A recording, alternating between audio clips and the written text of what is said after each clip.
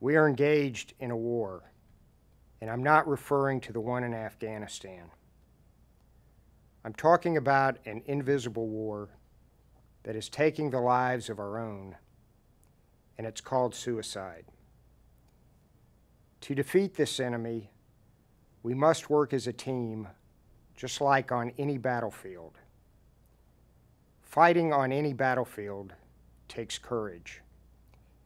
It takes courage to protect others and courage to step forward if needing assistance.